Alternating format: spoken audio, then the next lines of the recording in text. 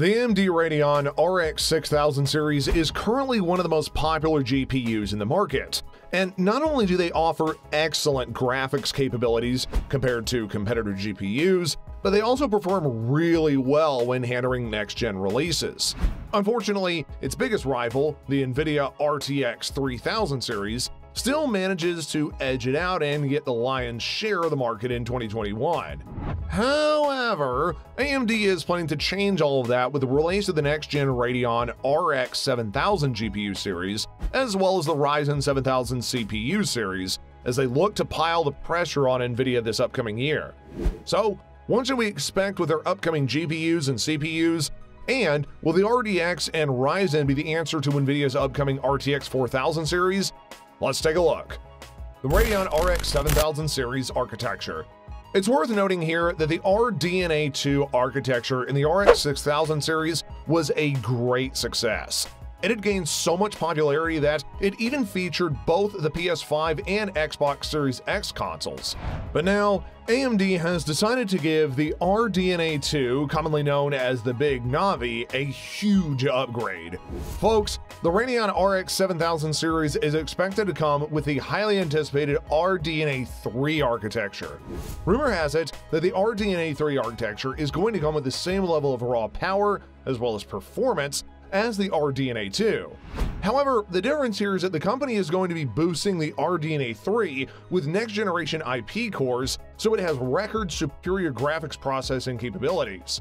That being said, no concrete features have been revealed just yet on how enhanced it's going to actually be.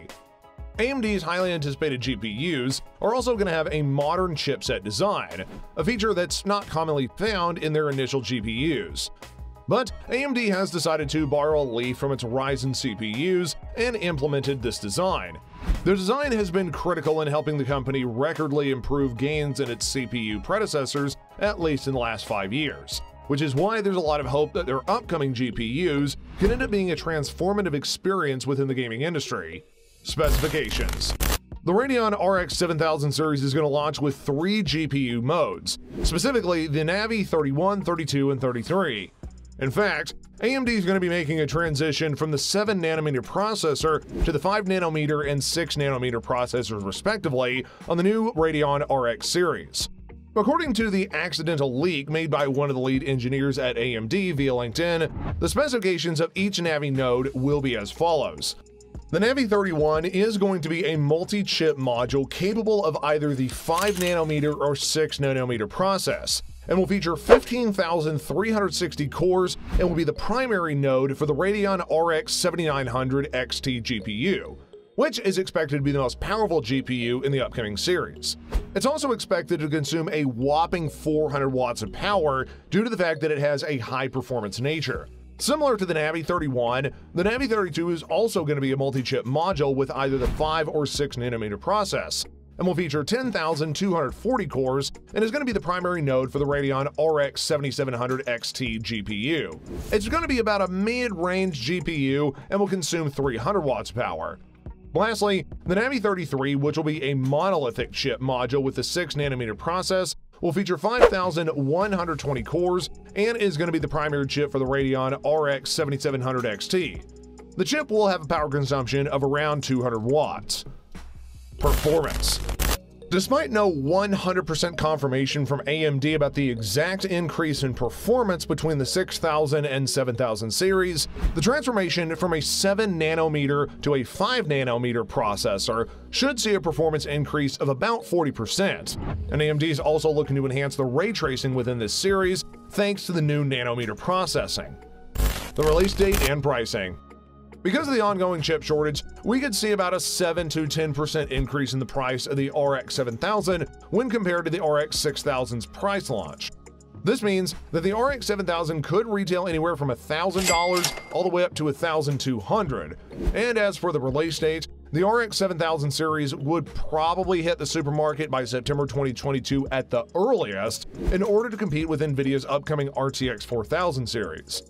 The Radeon Ryzen 7000 architecture Now moving along to the Radeon Ryzen 7000 series CPUs, AMD has stated that this is going to be the most ambitious and most powerful Zen architecture CPU which has ever been attempted. They've stated that it's going to revolutionize computer processing speeds and performance, which was something that we saw back in 2017 from their previous chipsets, so we're definitely interested to see how they can top it off. So far, AMD has released six generation of Ryzen chips with three different Zen architectures. Currently, the Ryzen 6000 series is the most recent CPU in the market, which boasts up to Zen 3 Plus architecture. But with the anticipation of the Zen 4 heating up, we should expect to see the upcoming Ryzen 7000 series make it that much more intriguing. Well, in terms of architecture, the first notable thing about the Zen 4 is that AMD is going to be migrating from the AM4 to the AM5 platform, which just means a fresh start for all their CPUs like the Ryzen's from 1000 all the way to 5000 that'll no longer be supported by the AMD's new platform.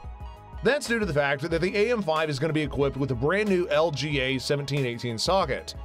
This company is dropping its initial pin grid array route, or PGA, to focus on the land grid array, or LGA, which is identical to what most Intel uses on its desktop processors. One of the main reasons why AMD is switching from the PGA to the LGA platform is due to the processing demands of the next generation such as DDR5 and PCIe Gen 5, which the AM5 platform will frequently encounter. The LGA socket also has a single latch, meaning that there's going to be no pins below the processors. Similar to the Radeon RX 7000 series, the Radeon CPUs will use a 5nm process engineered by the TSMC, this is expected to improve instructions per clock speeds by up to 25% whenever compared to the Ryzen 3. The architecture is also rumored to be supporting up to 24 cores, although that is not 100% confirmed. But if there is any truth to this speculation, that means that the Ryzen 4 is going to be capable of supporting twice as many cores as the previous Gen 3. And this new architecture could also double the core count from 128 to 256, delivering greater levels of performance. Another new and upcoming feature expected to make it to the Ryzen 4 is RAM, also known as Ryzen Accelerated Memory Profile. This new feature is going to be equipped to enhance DDR5 memory overclocking on the chip. And overall, the Ryzen CPU will be expected to be the performance compliant of the Radeon RDX 7000 series. A combination of both chips in your gaming setup could see an exponential rise in performance, speeds, and of course, graphic capabilities. The two were designed for next gen releases and are going to be able to handle the intense levels of gaming expected to be coming in the next year. However, both cards will cost you a pretty penny, with the Ryzen 4 expected to retail between 900 and $1,000, and the RX 7000 already at the $1,000 price point. So you're looking at upwards of just $2,200 to get a fully fledged AMD gaming system added to your home. The question is though, will it be worth the buy? Well, We'll give you a detailed review on that once both chips hit the market. As for now, we've come to the end of this video, so let us know what you think about the upcoming AMD series of GPUs and CPUs alike. Could they be the much needed answer to the next level gaming puzzle? Also, don't forget to give us a like and subscribe to the channel, as well as clicking on that notification bell to get informed of all the content that we put out here on the channel. Until next time, folks, stay safe and stay informed.